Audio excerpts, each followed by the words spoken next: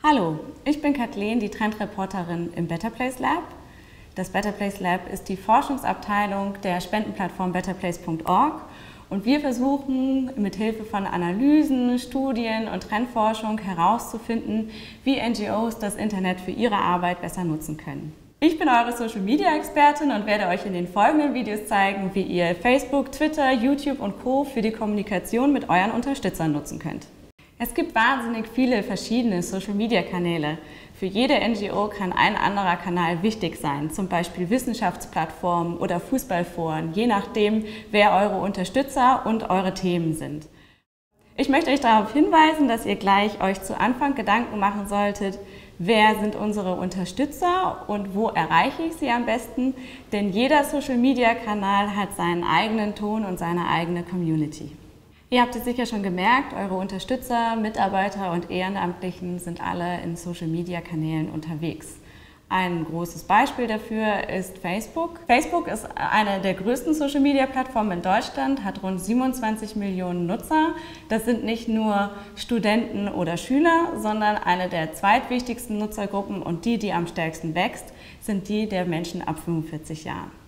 Das hat auch eine Bedeutung für NGOs. Der Spendensoftware-Anbieter Blackboard hat eine Umfrage dazu gemacht, wie eigentlich Spender ihren Organisationen via Social Media folgen und hat herausgefunden, dass rund 74 Prozent ihren Organisationen auf Facebook folgen und rund 22 Prozent sammeln sogar Spenden für ihre Organisation via Facebook.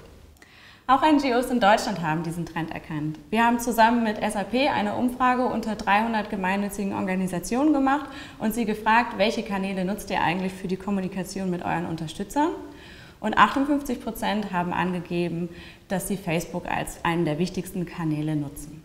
Auch unser Online-Benchmarking, das NGO-Meter, zeigt, dass Facebook und Twitter für NGOs immer wichtiger werden. Vor allem sind sie wichtig als Verweisquelle auf die eigene Website. Wie können nun NGOs Social Media für ihre Arbeit nutzen?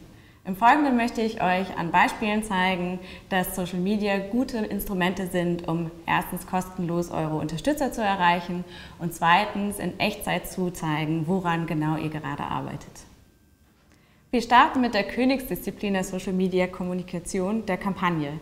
Ich habe dazu ein Beispiel von Greenpeace Türkei mitgebracht. Unter dem Titel How Big is Yours hat die Umweltschutzorganisation gegen den Fang von zu kleinen Fischen protestiert. Das Besondere an dieser Kampagne sind die Vielzahl an Kanälen, die eingebunden wurden. Gestartet ist die Kampagne mit einem ziemlich lustigen Video, wo sich ein Promi-Pärchen im Bett unter dem Titel How Big is Yours über die Größe eines Fisches unterhält. Das fanden so viele Menschen so lustig, dass innerhalb von kürzester Zeit 5 Millionen Zuschauer auf dieses Video klickten.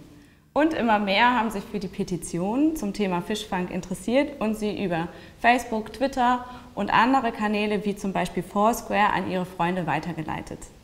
Diese Aktion war so erfolgreich, dass innerhalb eines Tages 13.000 Faxe beim zuständigen Ministerium für Fischfang einliefen und insgesamt hat die Kampagne über 700.000 Menschen erreicht.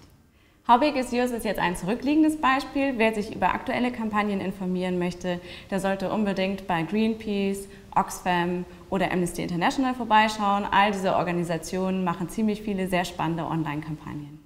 Aber Social Media eignen sich ganz besonders auch für den Dialog mit den Unterstützern. Ein Beispiel ist eine Aktion von der Zeitung Die Zeit. Die haben unter dem Hashtag Fragt Giovanni einen Dialog zwischen Zeitungsmacher und Lesern ermöglicht, in dem die Leser direkt an den Chefredakteur Giovanni Di Lorenzo Fragen richten konnten. Auch der WWF hat erkannt, wie wichtig der Dialog zwischen Unterstützern und Organisationen ist und hat dafür extra eine Dialogseite eingerichtet, auf der man ganz unkompliziert und schnell Fragen stellen kann und diese auch ganz schnell beantwortet kriegt. Und einer der naheliegendsten Gründe, Social Media zu nutzen, ist, dass man ganz einfach zeigen kann, wer man ist und seiner Arbeit dadurch ein Gesicht geben kann. Bei Better Place zum Beispiel haben wir ein extra eingerichtetes Facebook-Album für die Profilbilder unserer Mitarbeiter. Diese Beispiele zeigen, dass je nach NGO und je nach Thema verschiedene Kanäle relevant sein können. Ein Weg herauszufinden, welcher Kanal für deine NGO der richtige ist, ist erstmal genau hinzuhören, wo, wann und wie über dich im Netz gesprochen wird. Dabei kann dir die Social Media Suchmaschine Social Menschen helfen. Wenn du da einfach mal den Namen deiner Organisation eingibst, kannst du sehen, wo ein Kommentar auf Flickr, Facebook oder Twitter über deine Organisation gemacht wurde. Auch ein regelmäßiger Google Alert ist zu empfehlen. Achtet hierbei darauf, dass ihr ein bisschen Zeit in vernünftige Suchwörter investiert, damit ihr nicht lauter Nachrichten bekommt, die gar nichts mit eurer Organisation zu tun haben. Ich empfehle, sucht nach eurem Geschäftsführer und sucht nach eurem Organisationsnamen, aber in Kombination mit wichtigen Aktivitäten, die ihr sonst durchführt. So bekommt ihr einen ganz guten Überblick darüber, was online über euch gesprochen wird. In diesem Kurs habt ihr jetzt gelernt, warum NGOs Social Media für die Kommunikation mit ihren Unterstützern nutzen sollten, wie sie das tun können und welche Kanäle für welche Themen besonders geeignet sind. Wer jetzt schon ganz neugierig ist und tiefer einsteigen möchte, der kann sich in unserem Leitfaden Social Media für NGOs schlau machen oder sich von den zahlreichen Fallbeispielen im Trendreport inspirieren lassen. In unserem nächsten Kurs geht es darum, was ihr beim Posten und Twittern ganz genau beachten müsst.